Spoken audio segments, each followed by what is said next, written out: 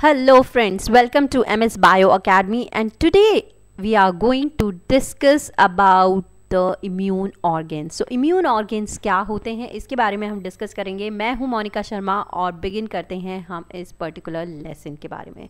सो immune organs का मतलब है वो ऑर्गेन सिस्टम्स हमारे बॉडी के वो ऑर्गेन्स जो मेनली रोल प्ले करते हैं इम्यून सेल्स के डेवलपमेंट में या इम्यून सेल्स के मैचुरेशन में या उन इम्यून सेल्स को वो पर्टिकुलर जगह देते हैं, वो जहाँ पे ये इम्यून सेल्स इंटरेक्ट करते हैं, उन पर्टिकुलर पैथोजेंस के साथ या माइक्रो ऑर्गेनिजम्स के साथ जो हमारी बॉडी में इन्वेड करने की, घुसने की कोशिश करते हैं या हमारी बॉडी में इन्फेक्शन क्रिएट कर दिया होता है जिन माइक्रो ऑर्गेनिज्म में माइक्रो ऑर्गेनिज्म मतलब कोई भी बैक्टीरिया हो सकता है वायरस हो सकता है प्रोटोजोआ हो सकता है पैरासाइट हो सकता है राइट right? तो उसके अगेंस्ट हमारी बॉडी के अंदर एक पावरफुल डिफेंसिव मैकेनिज्म है, उसे कहते हैं डिफेंसिव सिस्टम है, उसे कहते हैं इम्यून सिस्टम ठीक है?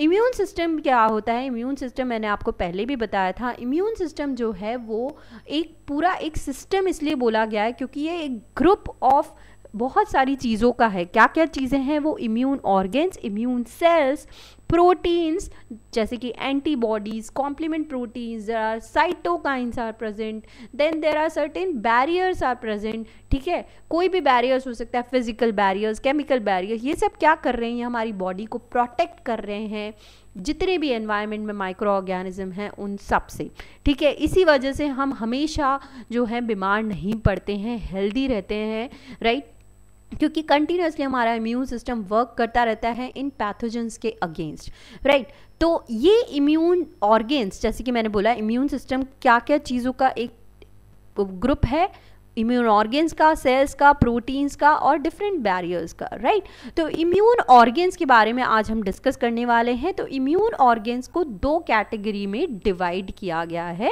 पहला बोलते हैं प्राइमरी लिम्फॉइड ऑर्गेन्स और दूसरा कैटेगरी दिया गया है सेकेंडरी लिम्फॉइड ऑर्गेन्स अब ये दो कैटेगरी इस बेसिस पे दिया गया है कि प्राइमरी लिम्फॉइड ऑर्गेन्स वो बेसिकली वो ऑर्गेन्स हैं जहाँ पे हमारे जो इम्यून सेल्स हैं, जो मेन हीरो हैं हमारे पूरे बॉडी के या बोल सकते हैं मेन पुलिसमैन जो है हमारे बॉडी के, जो टारगेट करते रहते हैं, जो ढूंढते रहते हैं पूरी बॉडी में सर्कुलेशन के टाइम या टिश्यूज़ में कि कहीं पे कोई पैथोजन आके हमारी बॉडी में इन्फेक्ट तो नहीं कर गया है राइट तो वो जो पर्टिकुलर सेल्स हैं, जो हीरो हैं हमारे बॉडी के पुलिसमैन है हमारे बॉडी के, वो इन पर्टिकुलर ऑर्गेन्स में प्राइमरी लिम्फॉइड ऑर्गेन्स में बनते हैं बोनते हैं, अपना जन्म लेते हैं और फिर मेच्योर होते हैं यहाँ पे।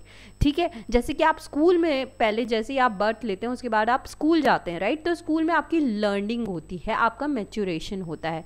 तो वो जो पर्टिकुलर जगह है स्कूल वो आपका हो गया प्राइमरी लिम्फॉइड ऑर्गेन्स तो इस तरीके से हमारी बॉडी में भी primary lymphoid organs immune cells के जो बर्थ प्लेस है, एक तो वो होगा प्राइमरी लिम्फोइड ऑर्गन एक जहाँ पे ये मेच्योर हो रहे हैं, जहाँ पे इनकी लर्निंग प्रोसेस हो रही है, वो हो रहा है primary lymphoid organs I hope this is clear secondary lymphoid organs वो होते हैं जहाँ पे वो ऑर्गेन्स जहाँ पे ये इम्यून सेल्स जब मेच्योर हो गए, जब इन्होंने स्कूल पास कर लिया, उसके बाद ये ट्रैवल करते हैं दूसरे ऑर्गेन्स की तरफ़, जहाँ पे ये उन पैथोजेंस के साथ पहली बार इंटरेक्ट करते हैं और अपना इम्यून रिस्पॉन्स शो करते हैं। ठीक है टारगेट करते हैं या उसे किल करते हैं, जो भी करते हैं, वो उनका जो रूल रोल होता है स्पेसिफिकली जिस सेल का, वो उस तरीके से बिहेव करेंगे।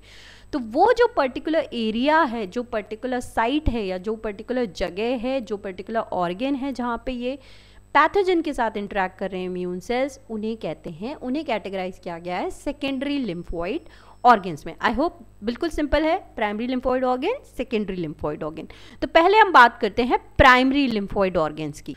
तो कौन कौन से प्राइमरी लिम्फॉइड ऑर्गेन है? पहला प्राइमरी लिम्फॉइड ऑर्गेन जो है वो है बोन मैरो बोन मैरो क्या होता है? आपने देखा होगा हमारा जो बॉडी का जो स्केलेटन है वो बहुत सारी बोन्स का बना हुआ है राइट तो उनमें से कुछ बोन्स जो होती हैं वो बहुत लॉन्ग होती हैं राइट जैसे कि this portion of the bone is very long then thigh का जो uh, हमारी जो बोन होती है वो बहुत uh, लंबी होती है ठीक है? तो ये बोन्स जो होती हैं इन बोन्स के अंदर। आप जैसे कि देख सकते हैं ये एक एक यहाँ पे एक डायग्राम दिखा रखा है तो ये एक टिपिकल बोन का स्ट्रक्चर दिखा रखा है। उसके अंदर यह ये जो पर्टिकुलर पोर्शन है ये क्या है? ये है हमारा आ, ये जो अंदर है ये क्या है हमारा? ये है एक स्पॉन्जी टिश्यू या फिर आप इसे बोल सकते हैं एक फ्लेक्सिबल सा टिश्यू होता है ठीक है? इसको बोलते हैं हम बोन मैरो ठीक है? ये बोन के अंदर होता है फ्लेक्सिबल टिश्यू ठीक है? और ये इस बोन मैरो के अंदर मेन इंपॉर्टेंट चीज़ क्या होती है? इसमें बहुत सारे एक स्पेशल सेल्स प्रेजेंट होते हैं, जिन्हें बोलते हैं एचएससी सेल्स शॉर्ट में बोलते हैं एचएससी फुल फॉर्म है इनका हेमेटोपोइटिक स्टेम सेल्स ठीक है? ये हेमेटोपोइटिक स्टेम सेल्स का क्या रोल होता है? ये किसी भी दूसरे सेल्स में कन्वर्ट हो जाते हैं, ठीक है? इन सेल्स से कोई भी और डिफरेंट सेल्स जो है हमारे बॉडी के, वो फॉर्म हो सकते हैं।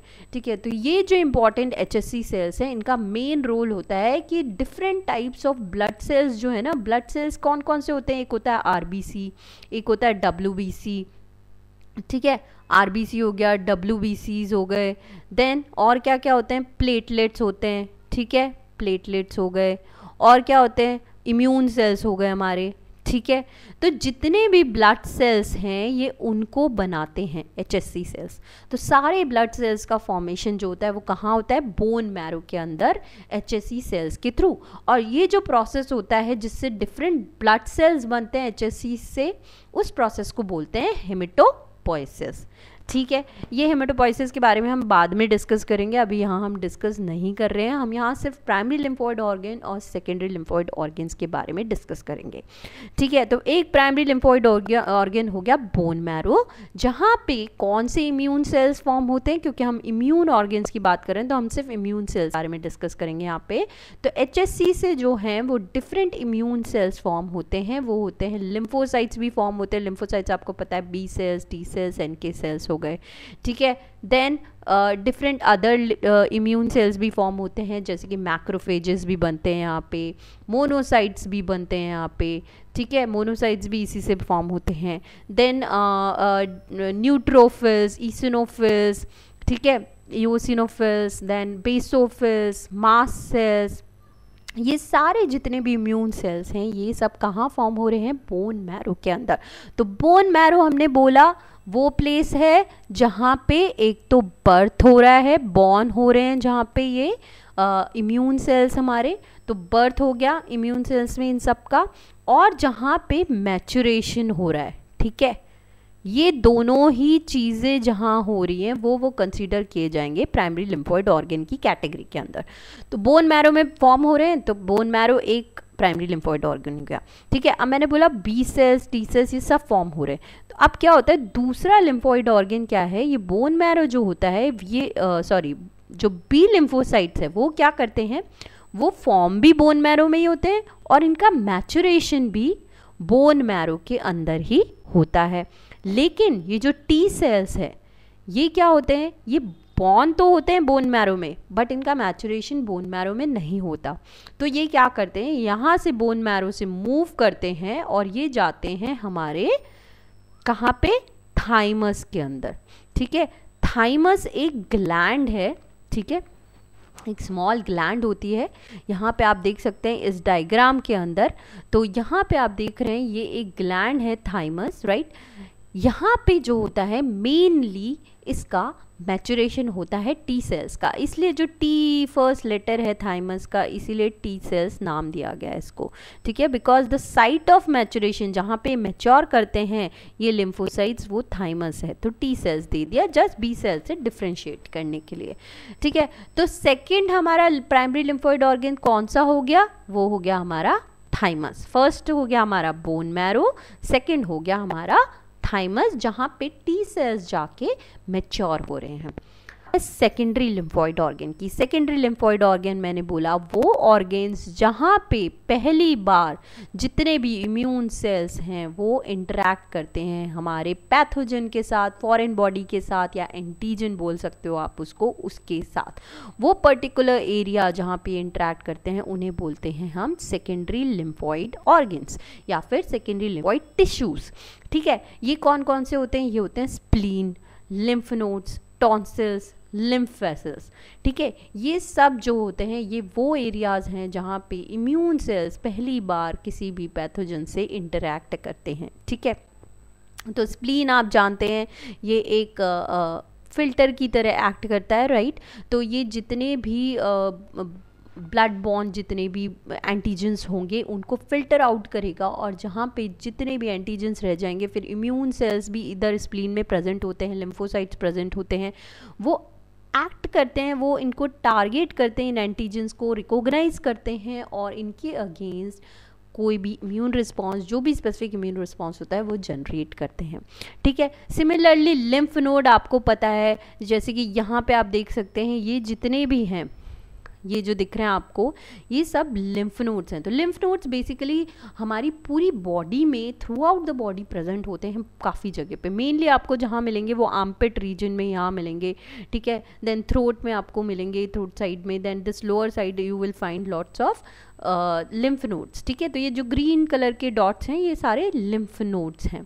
तो ये लिम्फ नोड्स भी एक तरीके के फ़िल्टर की तरह एक्ट करता है, जो लिम्फ को फ़िल्टर करता है, ठीक है? स्प्लीन क्या कर रहा था? वो ब्लड को फ़िल्टर करता है।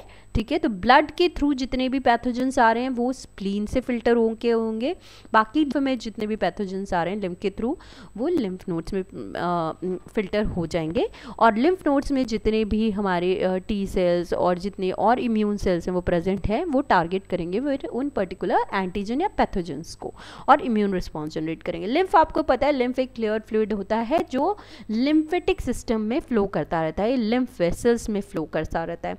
ठीक है? लिम्फेटिक लिम्फेटिक सिस्टम एक और सर्कुलेटरी सिस्टम है हमारी बॉडी का, जो सबसे लार्जेस्ट है। बहुत जगह पूरी तरह ब्लड की तरह ही ब्लड वेसल्स की तरह पूरे लिम्फ वेसल्स भी हमारी बॉडी में फैले हुए हैं, ठीक है? और लिम्फ भी बहुत इंपॉर्टेंट है, आपको ये पता है राइट तो इसके बारे में मैं डिटेल्स में नहीं जा रही हूँ यहाँ पे। तो जस्ट मैं बता रही हूँ आपको कि लिम्फेटिक सिस्टम के अंदर जो लिम्फ वेसल्स हैं, उनमें जो फ्लूड फ्लो करता है, उसको हम लिम्फ बोलते हैं। और लिम्फ मेनली जो होता है, वो इम्यून सेल्स या मेनली क्लियर फ्लूड या प्रोटीन्स का बना हुआ होता है, ठीक है? और ब्लड आपको पता है मेनली आर या डब्ल्यू ये मेनली प्रेजेंट होते हैं प्लेटलेट्स राइट ठीक है? Then tonsils tonsils is again ये भी एक सेकेंडरी लिम्फॉइड ऑर्गेन्स है, जहाँ पे मेनली जो भी पैथोजेंस हैं, अगर ओरल पाथवे से एंटर होने की कोशिश करते हैं तो टॉन्सिल्स इज़ ऑल्सो यहाँ पे भी ये रिच होते हैं डिफरेंट इम्यून सेल्स से, और ये इम्यून सेल्स फिर उन जो ओरल एंट्री से एंटर हो रहे हैं कोई भी पैथोजेंस उनको टारगेट करके वहीं डिस्ट्रॉय कर देते हैं। ठीक है? तो इस तरीके से हमारी बॉडी का जो डिफेंसिव सिस्टम होता है वो कंटिन्यूसली वर्क करता रहता है आ, इन सारे लिम्फॉइड ऑर्गन्स की वजह से इन सारे इम्यून सेल्स के फ़ंक्शंस की वजह से। राइट लिम्फ वेसल्स हम बात कर चुके हैं। तो ये होते हैं सेकेंडरी लिम्फॉइड ऑर्गन्स और tissues I hope this is clear to you और uh, अगर कोई क्वेरी है इससे रिलेटेड या कोई और टॉपिक से related so please please please comment section में नीचे लिखिए और मेंशन uh, करिए। मैं कोशिश करूँगी उसको सॉल्व करने की। और अगर आपको मेरा वीडियो पसंद आया है तो please do like it and share it with all your friends and don't forget to subscribe my channel M S bio academy see you soon with the next lesson